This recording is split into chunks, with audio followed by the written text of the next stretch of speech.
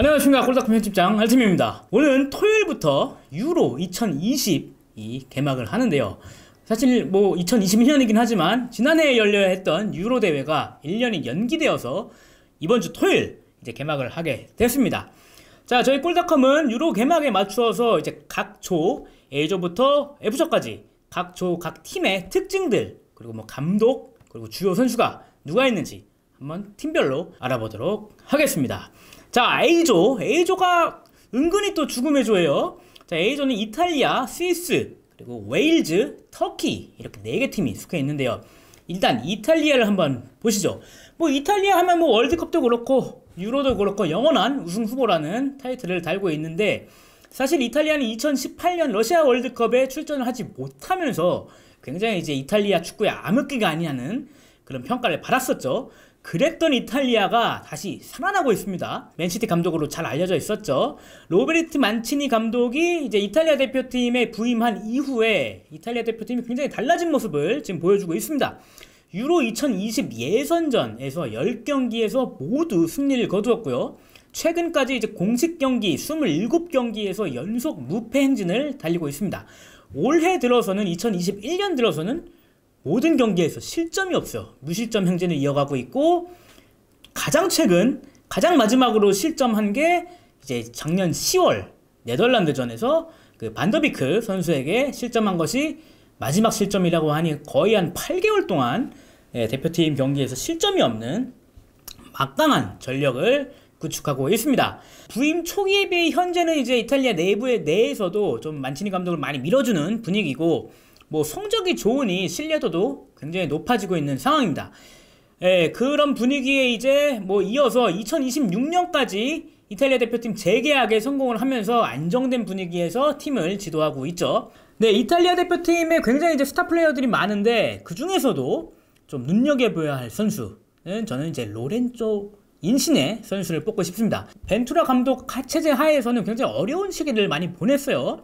뭐 소속팀에서는 활약이 좋았지만 벤투라 감독은 중요하지 않, 않으면서 경기에 뛸 기회가 별로 없었고 급기야 2017년 11월에 있었던 스웨덴과의 경기에서는 당시 이제 베테랑 미드필더였죠. 데로시 선수가 벤투라 감독에게 인신에 좀 써라 인신에를 어, 투입해라 라고 종용을 할 정도로 굉장히 이제 벤투라 감독의 그런 에, 축구 철학에 좀 맞지 않는다는 평가가 있었는데요. 하지만 지금은 이제 로베르토 만치니 감독 하에서 굉장히 이제 많은 경기를 소화하면서 중용되고 있습니다. 참고로 그 인시녜 선수의 출전을 주장했던 그 데 로시는 현재 만치니 감독 그 체제의 코치로 활동을 하고 있으니 뭔가 이제 코칭 스태프와의 신뢰도 많이 쌓아놓은 인시녜 선수라고 볼 수 있습니다. 다음은 스위스. 를 알아보겠습니다. 뭐 스위스 대표팀이라고 하면은 사실 이제 메이저 대회에 나설 때마다 항상 복병이라고 평가를 받아요. 최근 이제 메이저 대회 2000 유로 2016과 2018 러시아 월드컵에서도 어 16강에 진출을 했죠. 그러면서 이제 좀 복병이라고 평가를 받는 팀인데 감독은 이제 블라디미르 페트코비치 감독인데 2014 월드컵 이후에 대표팀을 이끌면서 예, 두 번의 메이저 대회 16강 진출에 성공을 했고요. 최근 성적도 뭐 나쁘지 않아요. 뭐 지난해 11월 벨기에전 패배 이후 지금 무패행진을 달리고 있고요. 그리고 이제 주요 선수는 역시 뭐 스위스하면 제르당 샤키리 선수를 빼놓을 수가 없겠네요. 뭐 간판 스타죠. 알프스 메시라고도 불리고 있고요. 뭐 올 시즌 뭐, 뭐올 시즌뿐만 아니라 이제 리버풀에서 이적 이후에 이제 출전 시간이 좀 부족했던 건 사실인데 그렇기 때문에 이번 대회에서 이제 경기 감각 이런 거에 좀 영향을 줄 수도 있을 것 같고요. 하지만 이제 유로 2016에서 보여줬던 그 폴란드전이었죠. 오버헤드킥 그 그림 같은 골 그리고 2018 러시아 월드컵 세르비아전에서 터트렸던 그런 극적인 결승골 등이 스위스 팬들한테는 좀 잊혀지지 않는 장면인 것 같고요. 항상 대표팀에서 잘해왔기 때문에 이번 대회에서도 역시 그래도 가장 믿을 만한 선수가 아닐까 생각이 듭니다. 네, 다음은 또 터키. 터키를 좀 알아보겠습니다. 자, 터키 하면은 이제 셰놀 귀네슈 감독이 이끄는 팀으로 많이 알려져 있고요. 일단 기본적으로 수비를 탄탄하게 하고 이제 뭐 역습 위주의 경기를 펼치는 팀으로 알려져 있는데 뭐 레스터 시티에서 활약을 하는 이제 쇠윈쥐 선수를 중심으로 뭐 데미랄이라든지 오잔 카박 이런 선수들의 조합으로 센터백을 구성을 하고 있고요.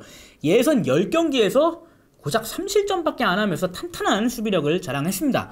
네, 프랑스에 이어서 조 2위로 본선 무대에 진출을 했고요.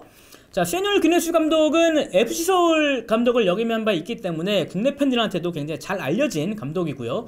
또 2002 한일 월드컵에서는 이제 3위까지 3, 4위전에서 우리랑 만났었죠. 3위에 오르면서 굉장히 이제 터키 내에서 인기를 많이 구가하는 감독입니다.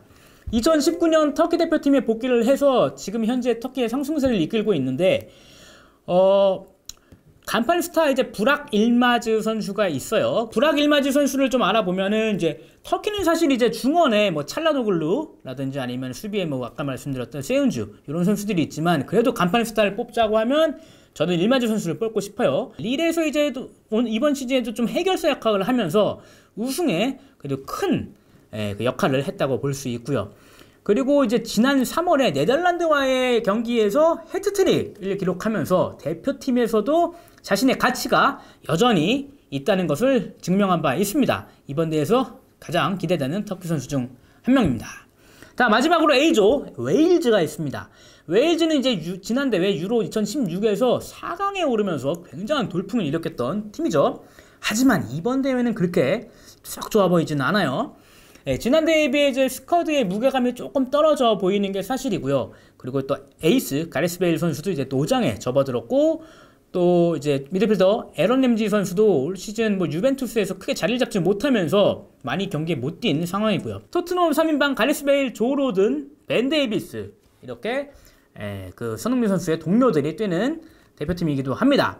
자 감독은 롭 페이지 감독으로서 라이언 긱스 감독이 이제 중도 뭐 개인사로 중도 하차한 이후에 급하게 선임이 된 감독이에요. 처음에는 이제 4백을 쓰다가 3백으로 전환한 후에 성적이 좀 많이 좋아졌습니다. 그래서 7경기 4승 1무 2패를 기록하면서 그리고 특히 이제 4경기에는 클린시트로 마무리하면서 굉장히 수비적으로 좀 탄탄해진 모습을 보여줬고요. 주요 선수는 간판 스타는 누가 뭐래도 가레스베일을 꼽을 수 있겠죠. 네, 가레스베일이 이제 뭐 굉장히 신인급 선수들 다니엘 제임스라든가 아니면 해리 윌슨 등 젊은 공격수들이 있지만 그런 선수들을 잘 이끌고 공격에 선봉장 역할을 해야 되는데 뭐 가레스 베일은 이런 말한 걸로 유명하잖아요. 웨일즈, 골프, 마드리드라고 했던 에, 예, 그런 기억이 있듯이 웨일즈에 대한 또 사랑, 애정이 특히 깊은 선수라고도 잘 알려져 있죠.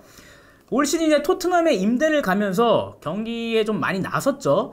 그래서 경기 감각도 굉장히 많이 올라오는 상태고 어, 가레스 베일이 이번 대회에서 어떤 마법을 보여주느냐에 따라서 웨일즈의 조별 예선 통과 여부도 결정될 것으로 보입니다. 네, 그래서 지금 경기 일정을 보니까 1차전 개막전에 이제 이탈리아와 터키가 만나거든요. 저는 이 두 팀이 조 1위를 다툴 것이라고 예상이 되는데 그 1차전 맞대결의 향방에 따라서 이 A조 순위도 조금 이제 결정되지 않을까 생각이 듭니다. 저는 그래서 개인적으로 1위 이탈리아, 2위 터키, 3위 스위스, 4위 웨일즈를 예상해 봅니다. 그럼 저는 B조에서 찾아뵙겠습니다. 감사합니다.